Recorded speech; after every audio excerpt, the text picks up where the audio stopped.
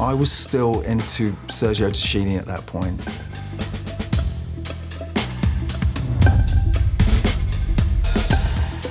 Naf Naf Bomber. Adidas Poppers also had them. Had a 90s party a few years ago and wore them again. Poppers, got them, got them. Mate, poppers, right? it's so stupid. As a man, to be able to do that, right? God, you gotta love poppers. Adidas Gazelles. I still wear them. Yeah, Reeboks. Yeah, obviously, Reeboks. They were kind of soft and, um, and yet supportive.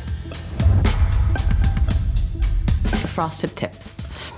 Curtains. I had, cur- I had an, curtains to here with frosted tips and an undercut at the, at the same time.